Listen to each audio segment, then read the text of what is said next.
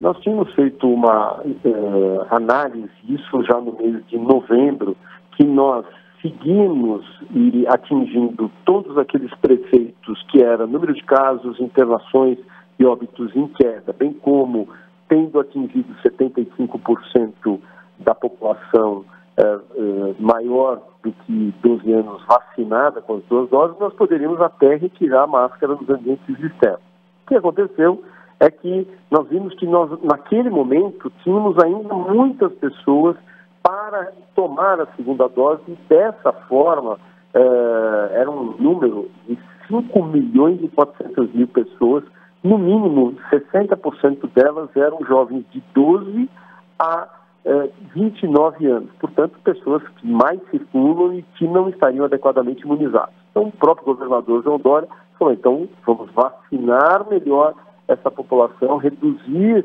é, esse número de pessoas desprotegidas e aí a gente joga para dia 10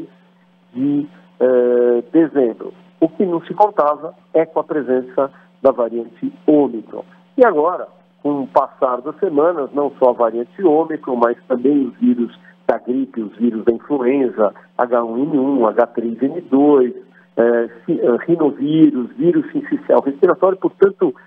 a manutenção é, das máscaras é algo que vai proteger a nossa população em concomitância com a continuidade do nosso processo vacinal.